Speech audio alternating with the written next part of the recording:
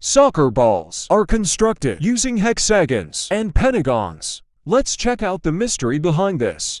The unique combination of these shapes creates a spherical structure that ensures optimal balance, aerodynamics, and durability on the pitch. This design allows for greater accuracy, control, and predictable ball movement during gameplay. So, next time you marvel at a perfectly curved free kick, remember the hidden artistry that lies within each soccer ball.